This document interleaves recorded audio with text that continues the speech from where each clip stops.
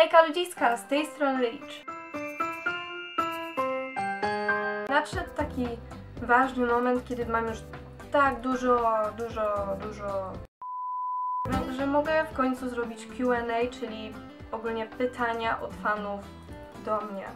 Od fanów, ranek, to cudownie brzmi. Wyglądało to tak, że zadałam pytanie e, dziewczynom e, z grupy Rushers, czyli fanów Big Time Rush i na grupie Fuers, czyli fanów Default. Rezultat był... O jest. Pierwsze pytanie. I to jest takie honorowe pytanie, bo pierwsze. Więc... Ania Czerwińska, jesteś honorowa. Honorowa, honorowa, honorowe... Tak. Spotkałeś kiedyś Makę Pakę Tak, następne pytanie. Najlepsze wspomnienie z wakacji. E, zdecydowanie najlepsze wspomnienie z wakacji było z tych wakacji, co były teraz. Mm, kiedy spotkałam dwóch fajnych kolegów i grałam z nimi w koszykówkę. Rzadko, bo się ze mnie śmiali, że nie umiem grać. Ale jak ja miałam grać, jak ja miałam klapki. Tak, ale śmiali się. I rzadko z nimi grałam, bo byłam na nich zła. Ale byli fajni. Jeden był ze szkoły Guroli ma się te kontakty. Wtedy nie poznałam ani ich nazwisk, ani numerów telefonu. Znałam tylko ich imiona. So sad. Ale i tak byli młodsi. Jaki rodzaj muzyki jest Twoim ulubionym? Ogólnie słucham wszystkiego. Jest mi wręcz łatwiej powiedzieć, czego nie słucham. A mianowicie nie słucham na przykład heavy metalu, rapu, hip-hopu, ee, reggae, e, disco polo. Nie słucham country. Chyba tyle. Mhm. I nie lubię odgłosów natury. Liczy się. Ulubiony sport. Ja sportów nie uprawiam. Ale lubię pograć w koszykówkę. E, lubię hokej, ale nie na lodzie, tylko po prostu na ziemi.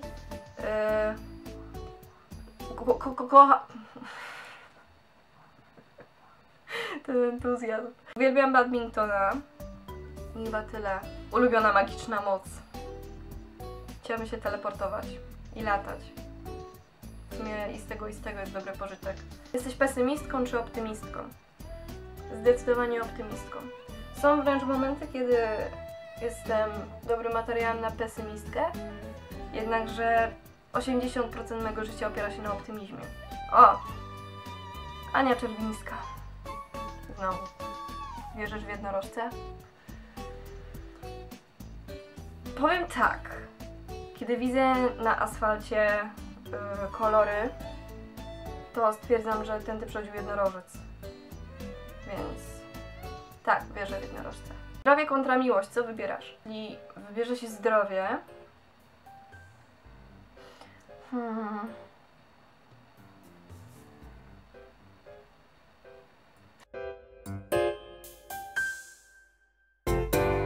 Mam pewną tezę. Jeśli wybiorę zdrowie, to nie będę miała żadnego chłopaka.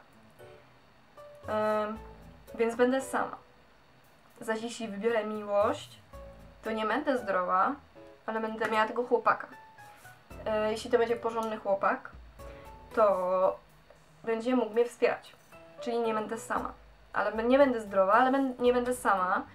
I byłby ze mną, więc zapomniałabym o chorobie. Nie byłabym sama, ale nie byłabym zdrowa.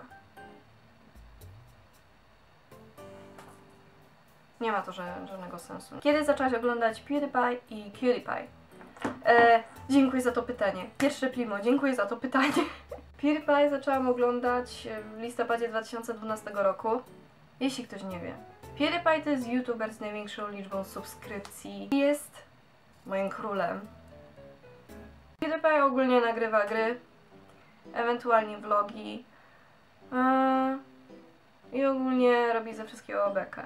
Więc czego chcieć więcej. A zaś PewDiePie, czyli dziew to jest dziewczyna PewDiePie. Yy, Marcję oglądam no też jakoś od listopada, bo się dowiedziałam, że to jest jego dziewczyna i stwierdziłam, że jeśli to jest jego dziewczyna, to musi być ok. I się nie pomyliłam. I to jest zaś moja królowa. Inspiruję się nią, to się staram się, o czym ja mówię. Taka ładnego na nigdy nie będę. Ona zaś nagrywa blogi typowo o makijażu, o, o ubraniach. Ogólnie takie modowe, przeplatane z vlogami i takimi e, do it yourself. Lubisz poki? Czy chciałabyś spróbować? E, powiem tak, poki jakby takich tych japońskich nie jadłam. Mm, nie, da, nie było mi dane jeszcze. Na internecie kiedyś chciałam zamawiać poki, jednakże nie wyszło, bo 12 zł za paczkę poki, w której jest, nie wiem ile tam jest, 20 paluszków, 12 zł, zjem je 5 minut, nie opłaca się. Jednak na polski rynek wyszły e, beskidzkie łakocie, to jest praktycznie to samo. E, ile? Około 3 zł kosztują. Praktycznie to samo, a tańsze i też dobre. Co myślisz o papierosach? O tak, o tak. Osobiście dla mnie papierosy są... Nie wiem jak to nazwać, żeby to nie ująć zbyt surowo. To jest tak, jeśli osoba pali, yy, bo jest zdenerwowana i chce się wyluzować, to okej, okay, ja to rozumiem. I żeby to nie było za często. Jeśli zaś osoba co godzinę idzie zapalić, to to nie jest dla mnie normalne. Wszyscy doskonale wiedzą, że papierosy nie są zdrowe, że papierosy nie dodają lat życia, tylko je dosłownie odejmują. Lubisz disco polo? Nienawidzę disco polo. Jak już powiedziałam, nienawidzę disco polo. Znaczy, ujmijmy to tak. Te piosenki, które w podstawówce leciały na dyskotece i to były disco polo, to okej, okay, je się da posłuchać. Dla nich robię wyjątek, ale reszta które nie były na dyskotece nigdy, w podstawce never. Pozdrowisz mnie w filmiku. O, jaka słodka. Natalia Usagi Mozejko, pozdrawiam Cię bardzo gorąco. Mua. O Jezu, to jest takie kochane, jak ktoś chce, żebym pozdrowiła. Czy włączysz piosenkę Disco Party braci jakiś tam i zatańczysz do niej na śmiesznie, jeśli tak, to tak nie ma mowy. Nie będę ani włączać, ani nie będę tańczyć. Ani nie będzie na śmiesznie, nie ma mowy. Co cenisz w ludziach, co cię w nich odpycha? Mówimy to tak, jeśli osoba, jak osoba przestaje się przejmować tylko swoją osobą i zwróci uwagę na tą drugą. Zapyta się, czy wszystko jest ok, czy się wszystko układa, czy się dobrze czuje, a nie nawija tylko o sobie. Jeśli osoba nawija tylko o swoich problemach, tylko o swoich perypetiach życiowych. Mnie to strasznie denerwuje. Ale to tak naprawdę tak... Uh, że tak chciałabym rozszarpać tą osobę. I to mnie odpycha.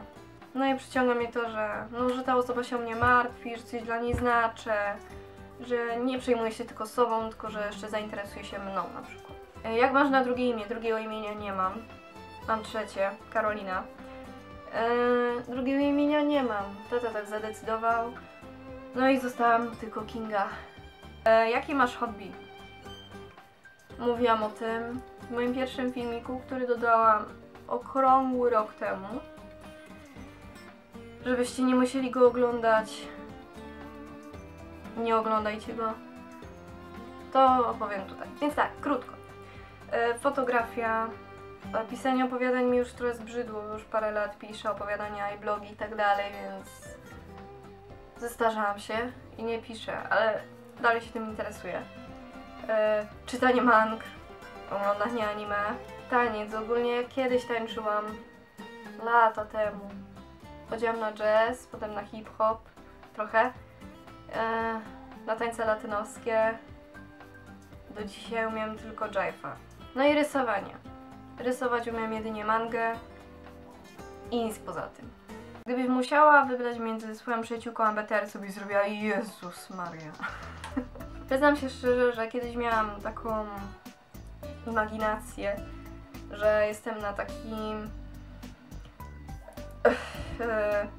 na takim kawałku ziemi, z dala od wszystkiego i stoję na środku tej skały.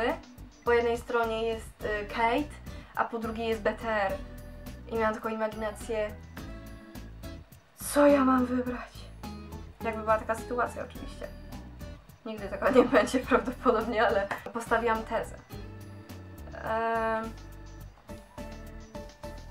Że jestem najlepszą przyjaciółką Kate, jesteśmy prawie jak siostry, e, więc wynika z tego, że moim obowiązkiem, zresztą jej też, że mamy o siebie dbać.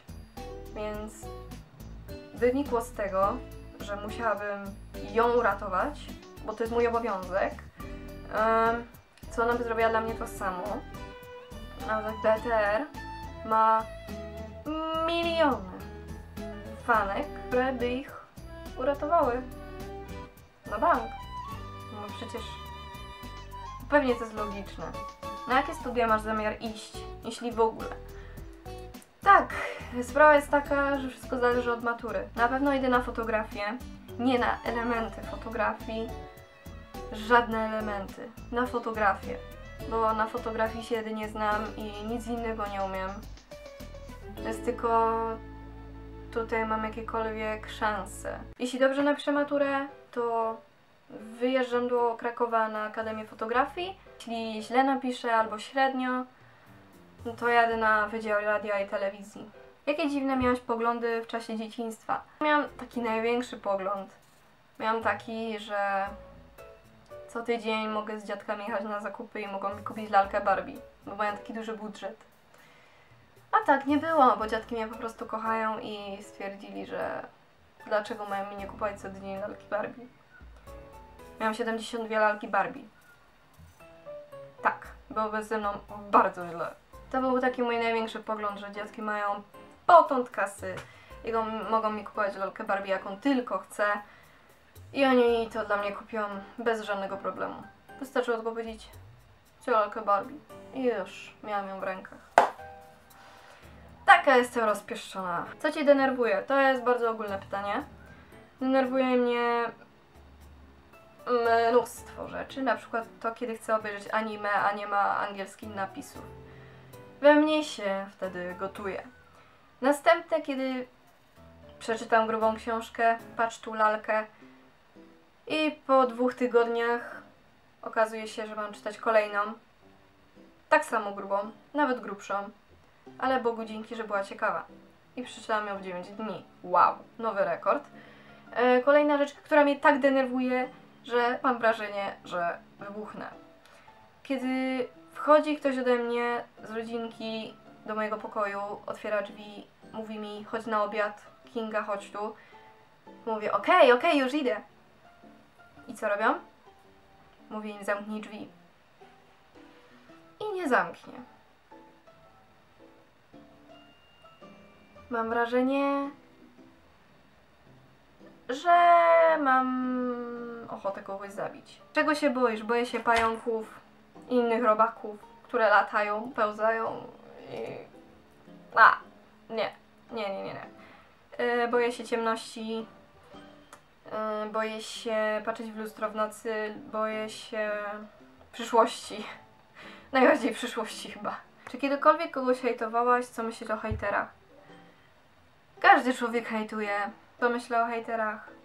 Są dwa rodzaje hejterów. Hejterzy, którzy mają podstawy i argumenty do tego, żeby hejtować i tacy hejterzy, którzy nie mają argumentów, żeby hejtować i nudzi im się w życiu i nie da się z nimi pogadać. Jest parę osób takich, znam takie. Nie mają łatwo w życiu. Ani ci, którzy z nim rozmawiają. Jaki był najlepszy dzień w Twoim życiu? Co się wtedy wydarzyło? O, mam taki dzień. Był taki niedawno. Ciąg dalszy nastąpi. Sądzisz o kolczykach w wardze. Są ohydne. Nie wiem po co komu kolczyki w wardze, w nosie, w brwiach, w- gdziekolwiek. W pępku. Gdziekolwiek. Same kolczyki mam tylko w uszach i nigdzie indziej sobie chyba nigdy nie zrobię. Bo po co komu kolczyk w wardze? Na przykład ma chłopaka i chce się z nim całować, a ma kolczyk w wardze i co przeszkadza, jest to niewygodne, tak samo jak je, to też jest pewnie niewygodne, bo się ubrudzi i... Po co? Co sądzisz o typowych gimbusach? Jak palą dla szpanu, piją dla szpanu i ćpają dla szpanu. Ojej, no, gimbusy. Tak, to jest temat, który musiał się pojawić w tym filmiku. Gimbusów. Jak widzę gimbusów, to mam wrażenie, że mam białą gorączkę. Ogólnie w mojej szkole są takie gimbusy, że szkoda gadać. Jak przebieram na korytarzu, na jeden korytarzu z gimbusami, to mam drgawki, jak ich widzę, wszystkich po kolei. Jak, ja nie byłam takim typowym gimbusem, bo ja byłam grzeczną dziewczynką i ubierałam się ładnie i czesałam się ładnie i uczyłam się ładnie i ładnie się zachowywałam i tak dalej. Więc ja takim gimbusem nie byłam. Ale to, co się dzieje w tych czasach, przechodzi ludzkie pojęcie, umę to tak. E, W jakich fandomach jesteś? Jestem Rusherem, czyli fanką Big Time Rush, jestem FUR fanką The Fall, jestem KK fan, czyli e, fanką Kaleidonito, e, jestem Bro od PewDiePie, jestem Marcipan od Marci, czyli PewDiePie i, i, i, i Otaku. No i Kouhai od The Anime Man, czyli od Joey'ego. Na jaki kolor pofarbowałabyś sobie włosy, gdybyś musiał? Eee, ogólnie mam sentyment do takich włosów. Mm, nie wiem, jak ten kolor nazwać. O! Taki kolor jak moje sławki. Pudrowy róż. Nie wiem, czy to jest pudrowy róż. Taki róż wpadający w biel. Eee, za co kochasz Defoe oraz Fues? Defoe kocham za to, że mam taki świetny kontakt z fanami. Żaden zespół nie ma takiego dobrego kontaktu z fanami jak Defoe. I to muszę przyznać z całego serca. E, mają często koncerty w Szwecji, bardzo często. Spotykają się z fanami i robią wszystko. Na Twitterze robią e, czas rodzinny, czyli można do nich pisać tweety i oni odpowiadają na praktycznie wszystkie, no może trochę przesadzam, ale dwóch trzecich odpowiadają. I jest to świetny pomysł, bo można z nimi nawiązać kontakt, można dostać od nich follow na Twitterze, no, no są genialni. Hello. A Fuers to to, że są tacy, że się nie kłócą, że są tacy nas- nastawieni pokojowo do wszystkich fandomów, nie kłócą się. Była jedna taka akcja z fanami EXO, ale to było takie chwilowe. A tak to są świetnym, świetnym fandomem, cieszę się, że w nim jestem. Ulubione danie i dlaczego? Ulubione danie to jajecznica, bo jak moja mama robi jajecznicę i do tego jeszcze jest chlebek z masłem, to jest takie... Nie wiem tego nazwać. To jest takie miam. I, I sushi. A dlaczego? Bo umiem sama robić sushi. To jest oprócz jajecznicy jedyne danie, jakie umiem sama zrobić. Wszyscy mówią, że surowa ryba, dlaczego to lubisz jeść, ale... No bo to jest sushi. Kurczę. No, Jakbyś opisała swój styl? Mojego stylu nie da się opisać, jest tak pomieszany i tak bez sensu, że... No nie da się. Chciałam się inspirować Marcją, tym jej stylem takim takim uroczym i takim, no, takim idealnym, ale jak na razie jeszcze nie dobiłam do tego poziomu. Gdzie byłaś 45 minut temu? Byłam w kuchni. Po jedzeniu. Ha, jakich youtuberów, youtuberki najbardziej lubisz? E, Mam plan, żeby zrobić filmik o moich ulubionych youtuberach i youtuberkach, bo nie da się tego opowiedzieć tak w minutkę, więc postaram się nagrać taki specjalnie dla Was, bo można o nich dużo opowiadać. Zaśpiewaj The Fall Build a Girl, tam gdzie Omar, Omar śpiewa po szwedzku. Zacznijmy od tego, że on tam nie śpiewa po szwedzku. Fuer! Ding! Nie zaśpiewam, nie będę śpiewać, chyba was pogrzało wszystkich dosłownie. Sądzę, że para homoseksualnych, które adoptują dzieci. Powiem tak. Em, wszystko się opiera na psychice dziecka. A teraz się zacznie dopiero filozofia. Dziecko chce, może w podświadomości dziecka jest głównie to, że chce mieć mamę i tatę, a nie mamę jeden, mamę dwa, albo tatę jeden, tatę dwa. Sama tego nie popieram, bo jeśli... Jest dla mnie to chore, jak ja widzę na chodniku dwie kobiety i dziecko. Dobra, dwie kobiety i dziecko to może jeszcze nie jest takie dziwne, ale jeśli widzę dwóch facetów, dziecko, to... Do gejów nie mam nic. Do gejów nie mam... Do homoseksualistów nie mam nic. Okej, jeśli się kochają, okej, ja to... Ja, ja to ten... Ja... Okej. Kochają się, i tak się trafiło, że tak, że więc tak, że, więc nie, nie, ma, nie ma problemu. Jeśli są dziecko, to to już jest inna para kaloszy. Co sądzisz o kłótniach między fandomami? O, o, o, dobra. Yy, to jest tak. Dla mnie to jest chore. Między fandomami powinien, powinna har- harmonia panować, a nie żeby się jedna, jeden fandom przez drugi się kłócił. Belly, Bear, Belly Bears, jak się czasami kłócą z Selenators, to jest za często to kiedy, kiedyś, kiedyś, kiedyś to była masakra. Oni się kłócili non-stop i o byle głupotę. Dla mnie między fandomami powinna być harmonia i powinni się wszyscy kochać i, i Wolałabyś przetańczyć z Jamesem całą noc, czy grać i również dobrze się bawić z Carlosem? Zdecydowanie. Zdecydowanie grać i dobrze bawić się z Carlosem, bo Carlos to jest taki mój. Um, no, jest taki, no. No, zawsze był super i tak dla mnie jest dalej super i będzie super.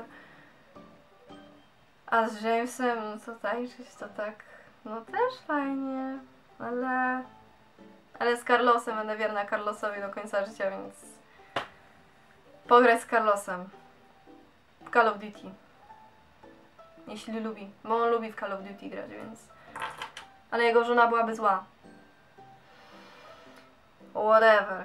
Nie obchodzi mnie jego żona. Co byś zrobiła, gdybyś mnie spotkała? Ania Czerwińska. Podziękowałabym bardzo serdecznie za wszystkie jej pytania. E, czy też uważasz, że sławny filmik Buzia w tym tęczu głównego bohatera powinien grać Kendall? Zgadzam się w 100%. Ten filmik jest dosłownie stworzony dla Kendalla w roli głównej, a nie wiem dlaczego jego tam nie ma. To jest dla mnie chore. Trzeba do niego napisać list. Dziewczyny, bierzemy się za list i piszemy do Kendalla. Nie ma mowy. Tak być nie będzie. E, co byś zrobiła, gdybyś rano się obudziła obok Kendalla i tu do wybrania w piżamie albo bez niczego? Dobre pytanie. Najpierw dostałby ode mnie w twarz, potem dostałby od Kate i jeszcze raz ode mnie i potem znowu od Kate. No i na dwóch razach by się nie skończyło. Kiedy boyfriend tak? Jaki boyfriend tak? Powiem tak, jakby to Justin Bieber powiedział Sun. Eee, okradłabyś Biedronkę z Loganem? To jest takie finałowe pytanie. Zostawiam chyba je specjalnie na sam koniec. Znaczy, z Loganem można by było nawet konie kraść. Więc nie widzę problemu. Dziękuję za pytania. Co jakiś czas będą takie QA. Więc jeśli chcecie, to zadawajcie cały czas pytania, bez względu na to, czy będę się pytać, czy ktoś ma pytania, czy nie. Zadawajcie pytania w komentarzach, na yy, gdzie tam, na Asku, na Instagramie, na Facebooku. Ogólnie mam plan, duże, duże plany mam na następne filmiki następnych tygodni. Uuu! Wiecie, z Wami żegnam, miłego weekendu i na.